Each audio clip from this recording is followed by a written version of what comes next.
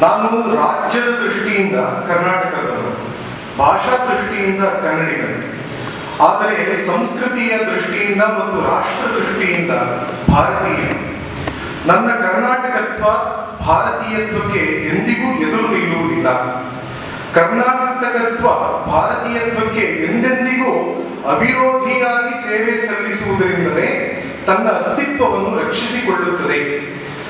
ಭಾರತಿ ತಾಯಿ ಕರ್ನಾಟಕ ಮಗಳು. ಭಾರತಕ್ಕೆ ಧಕ್ಕೆ ಒದಗಿದರೆ ಕರ್ನಾಟಕ ಉಳಿಯುವುದಿಲ್ಲ. ಮಗಳು ಕರ್ನಾಟಕಕ್ಕೆ ಕೇಡಾದರೆ ತಾಯಿ ಭಾರತ ಮಾತೆ ಸಹಿಸುವುದಿಲ್ಲ ಪರಸ್ಪರ ಕ್ಷೇಮ ರಕ್ಷಣೆಯಿಂದಲೇ ಸರ್ವರ ಕ್ಷೇಮವೂ ರಕ್ಷಿತವಾಗುತ್ತದೆ. ಇದು ಕುವೆಂಪು ಅವರ ಮಾತು. ಇದೀಗ ನಮ್ಮ ಕಾರ್ಯಕ್ರಮದ ಮುಖ್ಯ ಅತಿಥಿಗಳಾಗಿರುವಂತಹ ವಿದ್ವಾನ್ ಸದ್ಯೋಜಾತ ಭಟ್ರ ಮಾತಿಗೆ ಕಿವಿಯಾಗುವ ಹೊತ್ತು ಸದ್ಯೋಜಾತ ಭಟ್ರು ವೇದಿಕೆಗೆ ಬರಬೇಕು ಎಲ್ಲ ಗುರುವರೇಣ್ಯರಿಗೂ ನಮಸ್ಕಾರಗಳು ಪ್ರಾಯಶಃ ಹೇಳುವುದನ್ನ ಅಥವಾ ಹೇಳಬೇಕಾದ್ದನ್ನ ಹೇಳಿ ಮುಗಿಸಿಯಾಗಿದೆ ನಾನು ಹೇಳುವುದು ಏನಿದ್ರು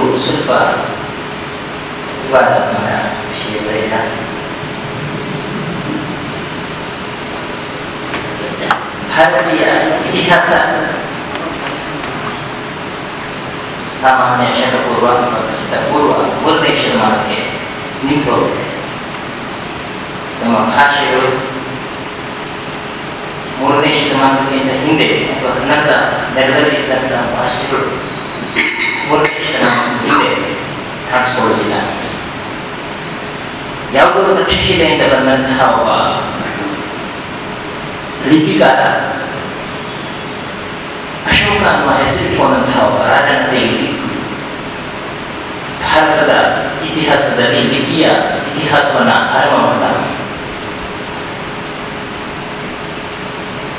ಅಶೋಕನ ಕಟ್ಟಾಜ್ಞೆಯನ್ನು ಧಿಕ್ಕರಿಸಿ ಆತ ಉಪಕ್ರಮಿಸಿದ್ದು ಕರ್ನಾಟಕದಲ್ಲಿ ಚಿತ್ರದುರ್ಗದ ಮೊಳಕಾಮೂರಿನ ಬ್ರಹ್ಮಗಿರಿ ಬೆಟ್ಟದಲ್ಲಿ ಅಶೋಕ ಏನು ಆಜ್ಞೆ ಕೊಟ್ಟಿದ್ನೋ ಅದನ್ನು ಧಿಕ್ಕರಿಸಿ ತನ್ನ ಹೆಸರನ್ನು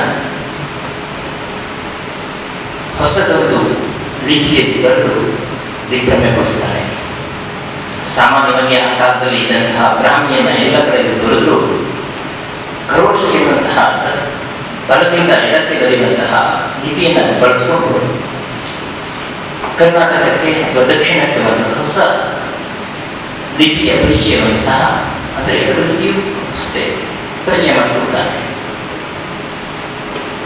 ಇತಿಹಾಸಕಾರರು, ಈ ಕನ್ನಡದ ಇತಿಹಾಸಕಾರರು, ಕನ್ನಡದ ನೆಲದ ಭಾಷಾ ಶಾಸ್ತ್ರಜ್ಞರು ಸ್ವಲ್ಪ ಗಮನಿಸಿದರೆ, ಹಾಗಾದರೆ ಅಶೋಕನ ಈ ಕಾಲಕ್ಕೆ ಬ್ರಾಹ್ಮಿ ಮತ್ತು ಪ್ರಾಕೃತದ ಕಾಲಕ್ಕೆ ಇಲ್ಲಿ ಬೇರೆ ಭಾಷೆ ಬೇರೆ ಅಂತ. ಅಲ್ಲಿಯೇ ಉತ್ತರ ಸಿಗುತ್ತೆ. ಪುಷ್ಯ ನಕ್ಷತ್ರದ ದಿನ ಎಲ್ಲರನ್ನ ಕೂಡಿಸ್ಕೊಂಡು ಶಾಸನವನ್ನ ಬ್ರಾಹ್ಮಣಿಯಲ್ಲಿ ದೇವರದ ಶಾ ಪ್ರಾಕೃತ ಶಾಸನವನ್ನ ಈ ಭಾಷೆಗೆ ಭಾಷಾಂತರಿಸಿ ಹೇಳಲಾಗ್ತಿತ್ತು ಯಾಕಂದರೆ ನಮಗೆ ಆಗ ವಿಧಿಯ ಜ್ಞಾನ ಇರಲಿಲ್ಲ. ಮೌಖಿಕ ಪರಂಪರೆ ವೃಕ್ಷಗಳು ಇತ್ತು. ಅಂದಾಗ ಭಾಷಾ ಇತಿಹಾಸ ಅಥವಾ ಕರ್ನಾಟಕದ ಕನ್ನಡದ ಭಾಷಾ ಇತಿಹಾಸ ಪ್ರಾಯಶಃ ಮೂರನೇ ಶತಮಾನಕ್ಕೂ ಪೂರ್ವಕ್ಕೆ ಸರಿದು ಹೋಗುತ್ತೆ.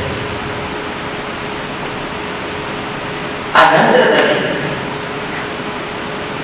ಭಾಷೆಯ ಬೆಳವಣಿಗೆ ಆಯಿತು. ಕನ್ನಡ ಬೆಳವಣಿಗೆ ಆಯಿತು. ಆದರೆ ಕನ್ನಡಕ್ಕೆ ಆ ಕಾಲದಲ್ಲಿ ಬೆಳವಣಿಗೆಗೆ ಸಹಾಯ ಮಾಡಿದವರು ಮಹಾಬಲಿ, ಬಾಣರಸರು ಅಥವಾ ಬೃಹತ್ ಬಾಣರು. ಹೊಸದೊಂದು ವಿಷಯಗಳನ್ನು ಕೊಡ್ತಾ ಹೋಗುತ್ತೆ. ಅದೇ ಕಪ್ಪ್ಯಾರಪಟ್ಟಣ ಊರಿನಲ್ಲೇ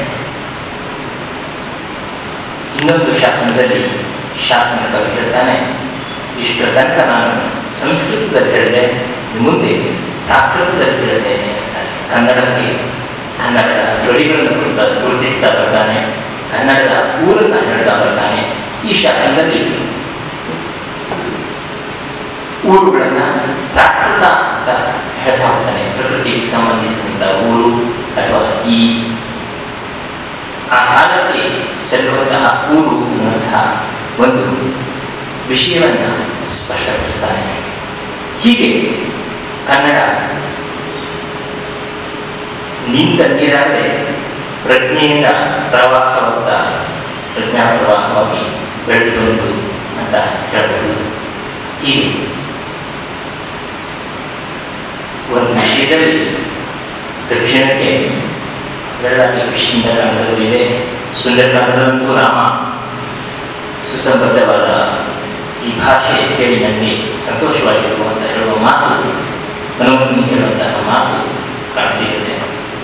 ಸಭಾಪರ್ವದಲ್ಲೂ ಸಹ ಮಹಾಭಾರತದಲ್ಲಿ ಸಿಗುತ್ತೆ.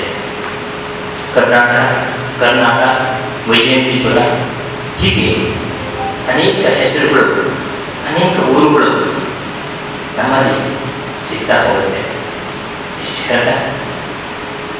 ಅವಕಾಶ ಕೊಟ್ಟಂತಹ ಪ್ರಜ್ಞಾ ಪ್ರವಾಹ ಮತ್ತು ಅಯೋಧ್ಯ ಪ್ರಕಾಶನದವರು ಹಾಗೂ ಇಷ್ಟೊತ್ತು ಕೇಳಿದ ಎಲ್ಲ ನನ್ನ ಗುರುವೃಂದದವರಿಗೂ ನಮಸ್ಕರಿಸ್ತಾ